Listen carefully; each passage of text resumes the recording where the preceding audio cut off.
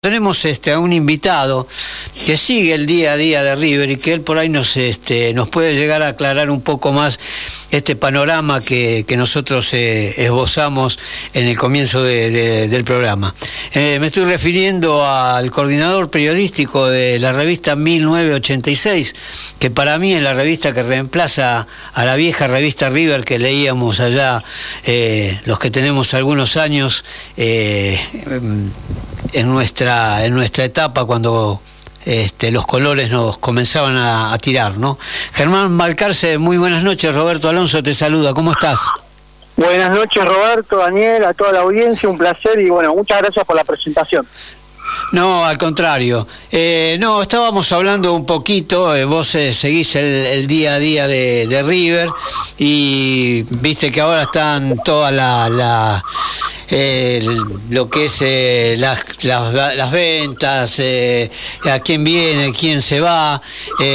¿cómo, ¿Cómo está el panorama? vuelvo a repetir, que vos lo seguís día a día en cuanto a las incorporaciones y aquellos que se pueden ir. Bueno, a ver, mm, hay que aclarar primero que nada que el mercado de pases en el fútbol argentino comenzó hace apenas ocho días, que es un año demasiado particular eh, en cuanto al calendario, en cuanto al libro de pases, esto está comunicado de, de manera directa porque para contextualizar, para que la gente comprenda, el libro de pases para la liga profesional, es decir, para la primera división del fútbol argentino, se abrió hace ocho días y terminará el 7 de julio con un atenuante. Eso es para las transferencias en el mercado local. A nivel internacional, el libro de pases rige hasta el 8 de agosto para el fútbol argentino. ¿Qué quiere decir esto? Que si, por ejemplo, River transfiere un futbolista, puede traer uno del exterior hasta el 8 de agosto. La liga profesional comenzará este fin de semana y terminará el domingo 23 de octubre. ¿Por qué marco todo esto? Porque no hay que apresurarse en cuanto a plazos. River por la Copa Libertadores recién tendrá que jugar el miércoles 29 de junio, de junio contra Vélez en Liniers, mientras que eh, recibirá justamente al equipo eh, que ahora dirige el uruguayo Alexander Medina el miércoles 6 de julio.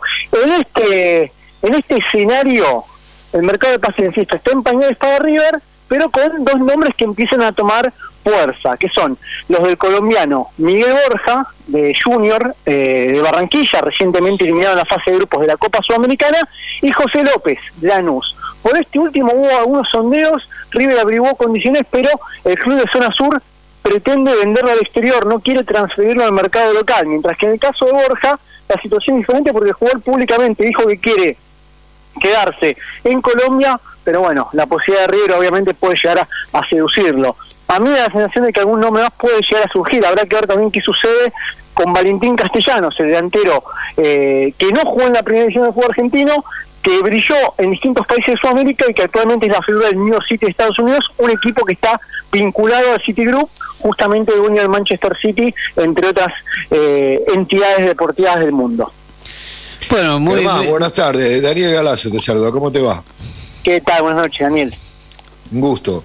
Decime, en el caso de este, de este chico Borja, y respecto de, Colombia y su y su entorno futbolístico. A mí me parece, y esta es una apreciación particular que tengo, en virtud de observar declaraciones a través de los años y bueno, conocer algún poquitito de lo que es el entorno colombiano del fútbol, me parece que aparte de la fase económica, me parece que juega otro elemento, y no sé cómo lo ves vos, que sería el hecho de lo que significa el fútbol en Colombia, que si bien eh, lleva y, con no, y, denota, y denota pasión, como, no, como el fútbol en todo el mundo, me parece que no tiene ese marco de referencia este, de pasional hasta el hartazgo que condiciona montones de cosas como en el fútbol argentino, lo cual, aparte de cobrar en tiempo y forma y en dólares, le asegura al jugador una tranquilidad, digamos, que ese extra de la presión exterior no la tiene tanto como en el fútbol argentino. ¿Cómo lo ves? Sí, a ver, hay que tener en cuenta algo que por eso un dato desconocido para la mayor parte del público, y es hasta lógico. Borja ya jugó el fútbol argentino. Y algunos se está preguntando, ¿dónde? ¿Cómo no me enteré? Bueno, Borja jugó cuando no era un jugador tan notorio, vistiendo la camiseta de Olimpo, y hasta me parece, por ahí me de memoria, que le hizo un gol a River, pero con esto último estoy tan seguro. Sí, puede ser. Este... Computador en mano se puede chequear, yo ahora estoy con el celular, pero computador en mano se puede chequear. Yo siempre confundo, no sé si fue Borja o Mauricio Cuero, uno de los dos jugadores colombianos de Olimpo que marcó un gol a River, en el Monumental. Para, ¿eh? para mí fue Borja. Sí, para mí también, año 2016 o 2014, bueno, ahora me engaño un poco la memoria, pero aquí en el Monumental. Creo que Borja, no estoy seguro. Eh, Germán, yendo un poco a, lo que hablábamos nosotros recién de, de, la revista, ¿no? Eh, nosotros conocimos la, la, revista River eh, y ahora obviamente ha cambiado mucho lo que es eh, la, la, la, gráfica a, a, a, través de, bueno, de redes sociales, internet, distintas páginas y demás. Eh, ¿cómo, ¿Cómo es la revista 1986 por dentro? Eh, ¿cómo, ¿Cómo llegan a, a la gente? Bueno, la revista 1986, cuyo dueño es el periodista Facundo Pastor, bastante conocido él, eh, hincha de River, por supuesto, se inspiró justamente en revista River. Eh, Facu tiene admiración, eh, devoción por, por dicha publicación, al punto tal de que está intentando conseguir la, la colección poco a poco, poder armarla, no completa porque sabe que es casi utópico y hasta por ahí imposible, pero por lo menos tener una cantidad nutrida de números. En ese contexto, eh, Revista 1986 es una publicación mensual, nacida en noviembre de 2011. Yo he sido parte de la génesis, charlando café por medio justamente con Facu, pero formo parte del medio hace ya dos años porque me incorporé en mayo de 2020, en plena pandemia. ¿sí? Eh, la revista consta de 60 páginas, varias secciones fijas, y mezcla un poco de actualidad, obviamente con, con contenido temporal, porque una revista, para que la gente comprenda, no puede tener 100% actualidad eh, en el día a día porque es una publicación que una vez que entre en imprenta tarda, en el caso de nuestro, alrededor de eh, una semana, un poquito menos en realidad, estar en la, en la calle. Eh, pero también marca la, la, parte histórica. No voy a adelantar nada de lo que viene el próximo número porque Facu me mata, pero tiene una edición con algún temita eh, vinculado a la historia de River, que siempre se repasa la historia. ¿Dónde se consigue? Bueno, más allá de poder contactarse a través de las redes sociales de Revista 1986, que es, es arroba Revista 1986, tanto en Instagram como en, en Twitter, también está tienda 1986, yo igual no manejo el tema de las ventas y fundamentalmente también los kioscos diarios, no solo de Capital Federal, sino de distintos puntos estratégicos del país. No se consiguen todos los puestos diarios, esto lo quiero aclarar, pero eh, en determinados puntos eh, neurálgicos se consigue, además, insisto, se puede realizar no solo la consulta a través de las redes sociales de la revista, sino también suscribirse. Así que me parece eh, un tema interesante porque es un buen material de lectura, más allá de, formar parte, me parece que eh, si uno quiere leer algo distinto, quiere llevar la revista, bueno, a la playa no por una época, a un parque, una plaza, leerla camino al trabajo, lo que fuera, me parece eh, un material bastante atractivo, más allá de que al ser parte, obviamente no, no, no termino siendo 100% objetivo, lógicamente. Eh, a mí me parece bárbaro la idea de romper un poco con esta inmediatez que en el ámbito eh, epistemológico, cognoscitivo, eh, inunda toda la sociedad. Y me parece que un medio gráfico, como decís vos, que por su periodicidad no puede tener coyuntura solamente, porque quedaría, quedaría eh, atrás en el tiempo, se aboque a romper un poco esta inmediatez con, con hechos de índole histórica que tienen que ver con el club, que, que, que, bueno, que por ahí por redes sociales se difunde poco por esta inmediatez que hoy eh, eh, caracteriza a la cultura y a la información, este, se puede romper gracias a esta mirada, ¿no? Sí, sí, totalmente. A ver, hay medios para todos los gustos. Uno entiende que la inmediatez está directamente vinculada a las noticias y, uno forma parte de esa inmediatez, pero también es, es, lindo hacer un contenido temporal, contar un poco de historia, contar alguna cuestión distinta. La, la portada más reciente lo tuvo como protagonista a Nicolás de la Cruz. No he podido entrevistarlo, sí, eh, conseguir algún testimonio suyo off the record para poder nutrir eh, su historia personal, porque bueno, no, no, no había entrevistas en, ese momento, tampoco hay, las hay en este momento, más allá de la atención a prensa el de partido. Y, bueno, en el caso de, del hermano de Carlos Sánchez, porque uno podría ser pero es hermano de Carlos Sánchez también, eh, contar cómo, cómo es su historia personal. Vos sabés que vos decís eh, que hacen un poco de la historia. Este programa, que hace ya eh, tres años que, estamos en el aire, eh, nació de esa manera, nació para contar la historia de, nuestro club a través de la voz de, los protagonistas, ¿no? Por estos micrófonos, bueno, pasaron el Beto Alonso, Pedro González, Leopoldo Luque, César Menotti, entre algunos otros, ¿viste? Contando la historia de su paso por nuestra institución, que yo creo que, es... Eh, es eh, la, génesis de nuestro programa, ¿no? Eh, es contarle la historia que por ahí no vivieron mucha, mucha gente, ¿no? Hoy depende la edad que tenga cada uno, tiene a veces un ídolo o a veces un, ese jugador que sobresale y del cual este, se hace hincha o, lo, califica de, ídolo, una palabra que este, encierra muchas cosas, ¿no? No, sabes que justamente yo estoy en el Monumental ahora en el gimnasio, me tomé un parate justamente para, para poder atenderlos, y por ahí a sorprender lo que voy a contar. Hace un ratito el Beto Alonso justamente estaba en la confitería del club, primero acompañado por Adrián Solesi, que es asambleísta, eh, mano derecha de, Matías Paten en muchas cuestiones logísticas y administrativas y amigo personal del Beto, por eso lo menciono. Eh, el Beto sentado en la confitería, eventualmente firmando algún autógrafo, sacando alguna foto, pero bueno, mucha gente por ahí no le pedía porque ya el Beto está en el club, pisa tanto el club que ya cualquiera que quiere tener una foto de Beto, un autógrafo, seguramente se dio el gusto. Así que el Beto estaba mirando tenis en la, en la confitería del club hasta hace un ratito nomás. Sí, sí, bueno, con el Beto fue el primer entrevistado que tuvimos en, nuestro programa. Este, eh, arrancamos con él casualmente y, con el chico Bruno, que en ese momento, en el año 75, eh, nos dio el gol del campeonato después de, la malaria de los 17 años, ¿no? Así que ese fue nuestro comienzo y obviamente... Eh, yo que lo vi jugar, Daniel que lo ha visto jugar, Albeto, realmente sí, ese era, eh, es un ídolo de, verdad como para, para mucha gente de, de 30, 40 años, Enzo Francescoli o Ariel Ortega, eh, pueden ser aquellos ídolos que, que nosotros tuvimos viéndolo al Beto, ¿no?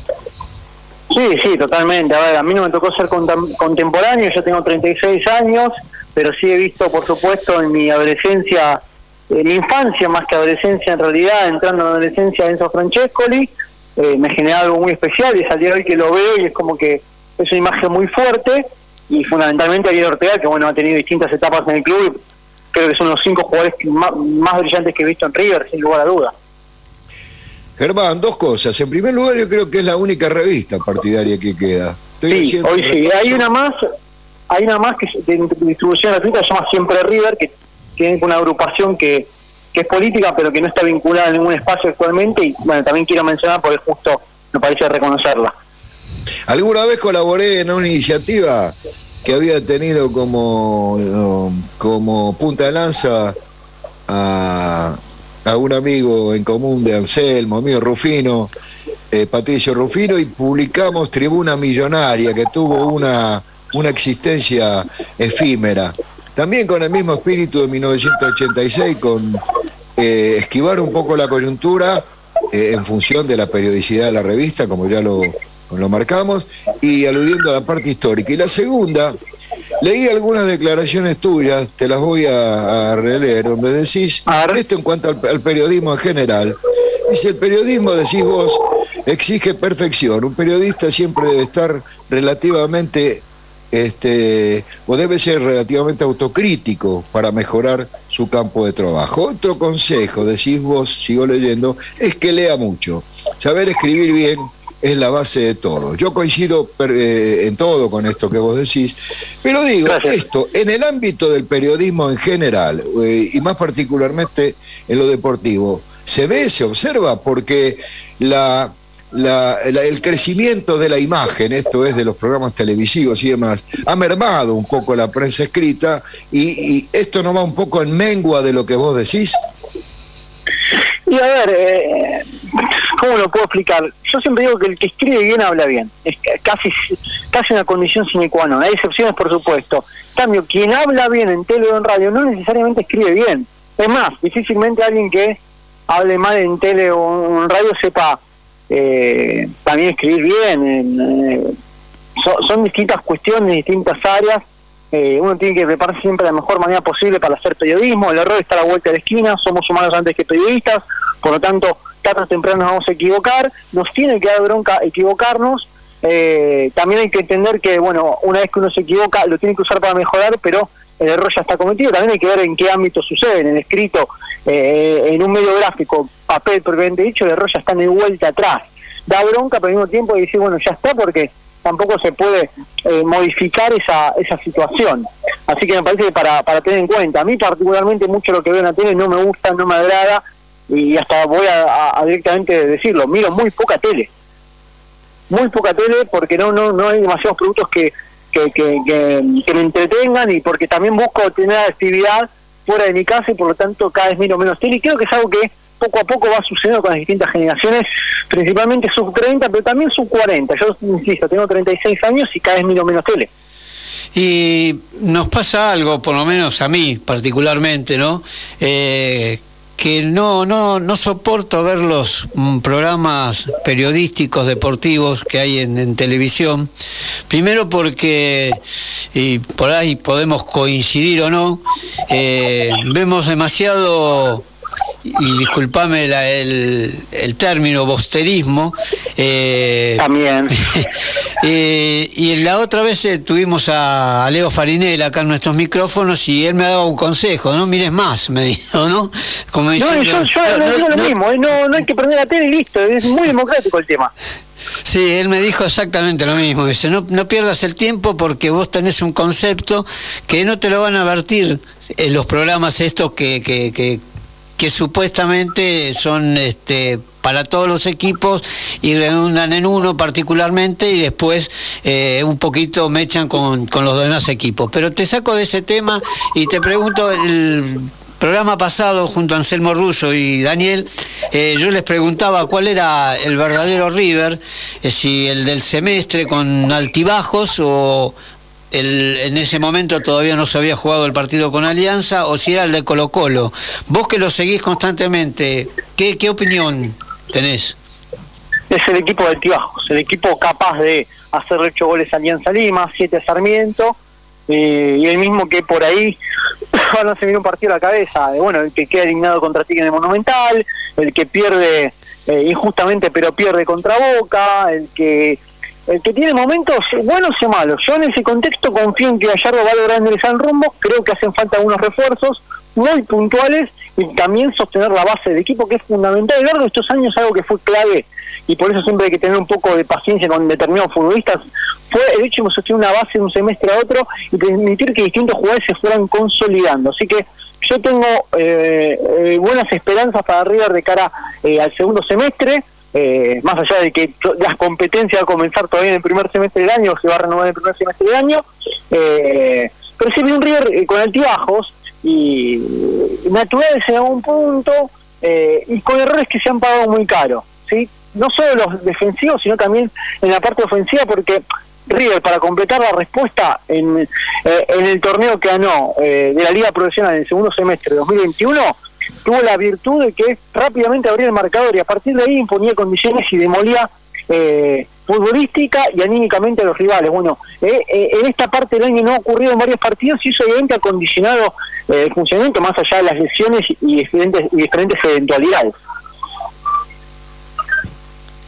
Bueno, ya terminando un poquito con, con, contigo y agradeciéndote este, tu deferencia para, para con, con la audiencia de, del Ángel de River. Eh, recién vos lo dijiste, que tenés muchas esperanzas para, para este semestre y yo abría el programa diciendo que, que como es un un campeonato atípico, si bien todos los campeonatos de AFA lamentablemente son este, eh, impredecibles, este es más todavía por, por, la cuestión del Mundial, muchas fechas apretadas, Copa de por medio. Eh, De, llegar River a, jugar o de pasar de estos octavos, ¿usted cree que River se va a tirar más a la Copa que al campeonato o va a tratar de, como marca la historia, de jugar los dos por igual y tratar de, sacar el mejor de los resultados? No tengas la menor duda que River va a apuntar todos los cañones a la Copa Libertadores. Obviamente esto tiene una parte relativa y es que si queda eliminado en octavo de final, por decantación irá eh, a competir principalmente la liga profesional, pero River tendrá cinco bajas por convocatorias a distintas selecciones en estas primeras dos fechas de liga profesional contra Defensa de Justicia y Atlético Tucumán.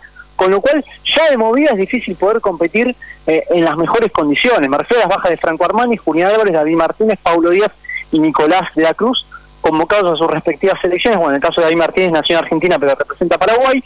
Eh, esa situación ya hace que inexorablemente pongas más énfasis en la Copa Libertadores. Ahora, en el primer mes, las primeras cinco fechas, River igual tiene que hacer lo mejor posible en la liga profesional.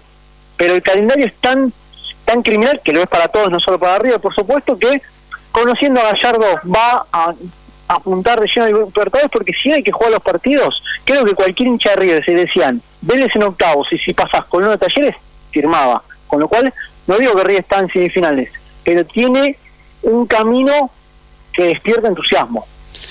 Eh, Germán, agradecerte nuevamente, un saludo a toda la gente de revista 1986 y el agradecimiento por, por estos minutos que, nos concediste y en cualquier momento te volvemos a, molestar para, para charlar de estas dos pasiones eh, tuyas del periodismo y de River. Muy bien, bueno, a disposición cuando quieran, fue un placer, la verdad que, que, que pasó un grato momento y bueno, un saludo para para ustedes, Roberto, Daniel, para la producción, por supuesto, y para toda la audiencia. Muchas gracias, por tu tiempo, Germán. Hasta la próxima. Gracias. Buenas noches. Un placer. Chau, chau.